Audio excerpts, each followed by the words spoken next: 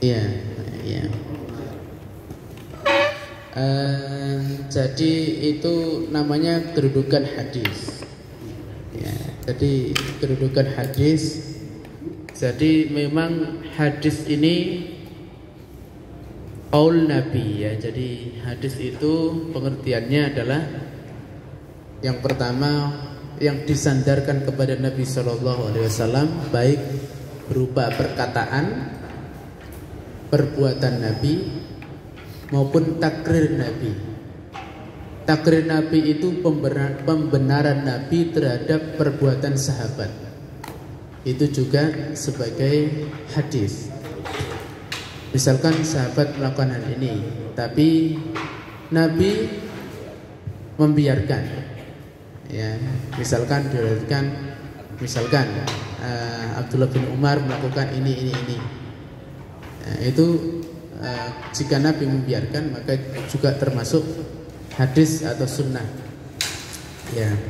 Jadi seperti itu. Jadi hadis ma udifa ila Nabi sallallahu alaihi wasallam min aqwalin au af'ali min af'alin Nabi ya min qaulin Nabi wa af'alin Nabi au takririhi. Jadi seperti itu.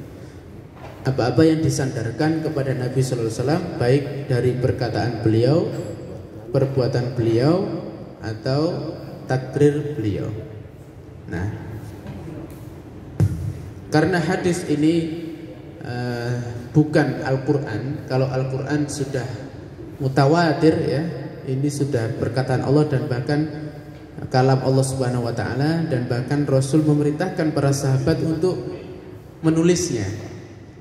Maka para sahabat ada yang menulisnya di batu, ada yang menulis di pelepah kurma dan sebagainya. Pokoknya ada sahabat yang menulis Al-Quran ketika diturunkan. Nah, uh, hadis Nabi Shallallahu Alaihi Wasallam bahkan melarang para sahabat, tapi ada juga sahabat yang sembunyi-sembunyi nulis hadis, ya. dilarang untuk menuliskan. Kenapa? Karena nanti dikhawatirkan perkataan Nabi atau perbuatan Nabi yang ditulis oleh para sahabat itu menyamai dengan Quran. Maka Nabi melarang untuk menulisnya. Tapi juga ada sahabat yang menulis secara sembunyi sembunyi. Jadi seperti itu. Nah, karena hadis itu berbeda dengan Al-Qur'an dan Nabi itu dulu melarang untuk menulisnya, maka ulama-ulama baik dari kalangan tabi'in, atba'ut tabi'in dan seterusnya itu ada yang namanya tadwinul hadis, yaitu mengumpulkan hadis-hadis namanya tadwinul hadis saat itu. Ya, dikumpulkanlah hadis-hadis itu. Jadi cari dan jalur periwayatan siapa siapa siapa siapa gitu ya. Dan kemudian sampailah kepada imamul hadis. Imamul hadis ada yang pertama kali itu ya imam-imam fuqaha itu ya, beliau juga al hadis seperti Imam Abu Hanifah, Imam Muhammad Idris, ya, Imam Syafi'i itu, kemudian Imam Malik, Imam Ahmad bin Hambal dan yang dikenal dari empat imam ini sebagai imam muhaddis itu Imam Ahmad bin Hambal. Dan sampai setelah uh, generasi Imam Ahmad bin Hambal itu muncul imam-imam yang lainnya misalkan Imam Bukhari, Imam Muslim, Imam Eh, Abu Dawud, Imam Tirmidzi, Imam Ibnu Majah dan dan seterusnya. Mereka mentakhrij hadis. Mentakhrij itu meneliti hadis. Meneliti hadis. Hadis ini betul-betul bersumber atau disadarkan kepada Nabi SAW atau tidak. Maka banyak kriteria. Di antara kriterianya adalah yaitu berkaitan dengan sanat ya berkaitan dengan sanat sanat itu jalur periwayatan bagi musnad bagi orang yang meriwayatkan itu ada kriteria tersendiri kriteria tersendiri agar hadisnya diterima di antaranya adalah kriterianya adalah thiqah Ya, kriterianya adalah siqoh. Siqoh itu kuat secara hafalannya. Kemudian solih tidak pernah bermaksiat kepada Allah Subhanahu wa. Kemudian eh, apa namanya? bisa menyebutkan hingga sahabat. Makanya Imam Bukhari kalau kita baca ya, kitabnya sahihnya Imam Bukhari maka haddatsana an haddatsana an Abi Han an anaknya itu sampai sahabat. Nah, maka Imam Bukhari, Imam Muslim dan generasi Imamul Hadis tadi membuat kriteria, membuat kriteria. Ya. Kriterianya jika hadis itu nyambung dan sesuai dengan kriteria sanatnya kesohihan maka hadis itu dikriteriakan ada sohih sohih itu berarti ya betul berarti benar dari Nabi ya. ada hadis itu yang doif. Doif itu lemah. Mungkin di antara salah satu tingkatan uh, periwayatannya atau sanatnya tadi ada yang uh, secara personal yang meriwayatkan itu mungkin uh, kurang solih. Ya meskipun hafalannya kuat tapi secara perilaku dia tidak mencerminkan kesolihan maka maka para imam hadis menyatakan bahkan ada yang menghajar ya. Menghajar itu sampai jangan ambil hadis dari dia. Sampai seperti itu. Meskipun hafalannya itu itu kuat. Ya, itu ya. atau doif itu bisa jadi terputus. Tapi di matan yang sama di matan itu isi hadisnya yang sama ada jalur periwayatan lagi. Ya seperti itu jadi doif itu lemah. Kemudian ada hadis yang maudhu. Hadis maudhu itu hadis palsu. Ya hadis palsu itu nggak sampai kepada pada para sahabat pun nggak sampai. Ya dibuat-buat hadisnya. Tapi di atas namakan Nabi atau di atas namakan sahabat. Nah itu juga palsu. Dan barang siapa yang apa namanya membuat hadis yang palsu maka ya siap-siap dia menempati ya tempat tinggalnya di neraka. Jadi seperti itu.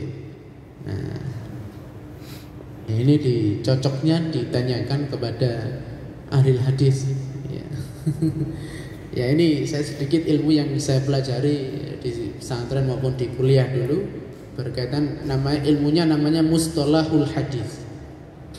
Ilmu yang mempelajari tentang hadis ini kesohiahannya kemudian dari matan-matan dan seterusnya nama ilmunya adalah mustalahul hadis. Ilmu mustalah hadis. Ya itu ada bukunya sendiri dan, dan banyak. Ya kemudian ada kitab ada buku yang mempelajari tentang orang-orang yang meriwayatkan hadis.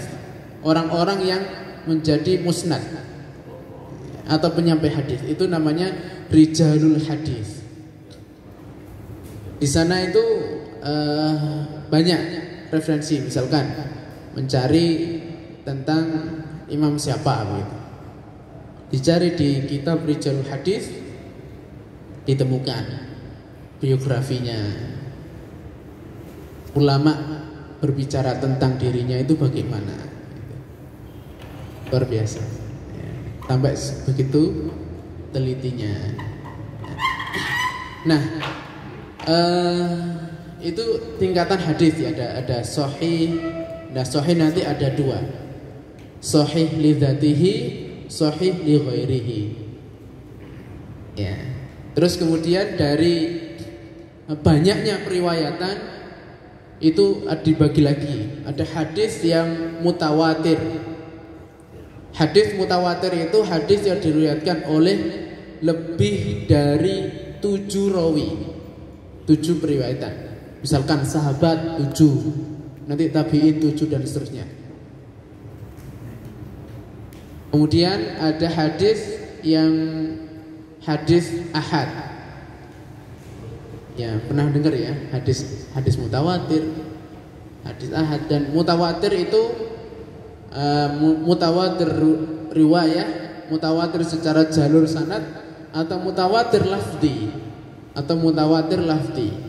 Misal mutawatir lafdi itu hadis tentang niat, padahal jalur yang meriwayatkan hanya Umar, tapi secara lafad itu banyak yang meriwayatkan. Jadi sudah sudah masyhur innamal a'malu binniyat itu. Nah, itu juga disebut mutawatir lafzi. Nah, kemudian ada hadis-hadis ahad. Hadis ahad ini uh, hadis yang diriwayatkan uh, tidak lebih dari tiga jalur periwayatan. Jadi satu mungkin dari jalur sahabat, oh dua sahabat yang meriwayatkan hadis yang sama. Jalur tabiin ada satu, tabiin tabiin ada dua misalkan seperti itu. Jadi itu termasuk usaha. Jadi seperti itu. Jadi sahih itu hadis yang sudah diverifikasi oleh para ulama bahwa hadis itu betul. Kalau doif itu lemah hadisnya. Kemudian ada e, maudhu Maudhu itu hadis hadis palsu. Jadi seperti itu.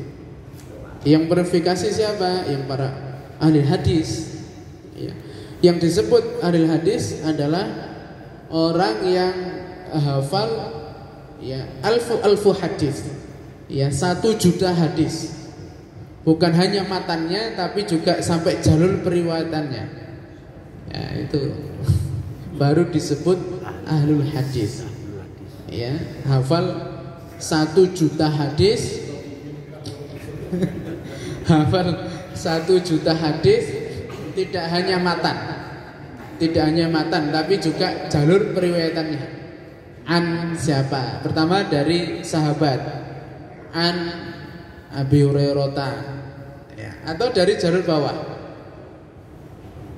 An Bukhari haddatsana haddatsana haddatsana sampai sahabat jalur ke atas. Itu satu. Satu juta. Itu baru. Ya baru. Hadis. Disebut sebagai ahlul hadis. Bagi kita ya minimal hafal arba'in nawawiyah itu luar biasa sudah. 40 hadis. 40 hadis yang kita baca di awal dulu hafal itu luar biasa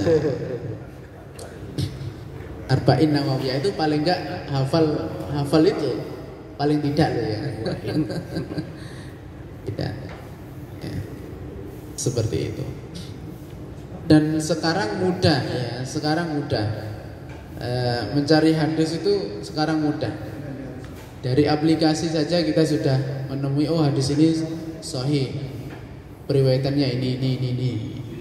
Jalurnya ini ini, ini dan sebagainya. Kalau dulu mentaladi talaki sama gurunya itu. Hadasanaan ini ini ini. Yuk hadasanaan dihafalkan satu baru matanya. Qala Rasulullah sallallahu alaihi wasallam. Nah, seperti itu. Jadi dulu orang cari satu hadis itu safarnya luar biasa. Bagaimana Imam Bukhari dari negeri Bukhara itu safar ke Baghdad. Iya, bukan naik pesawat. Gak ada pesawat.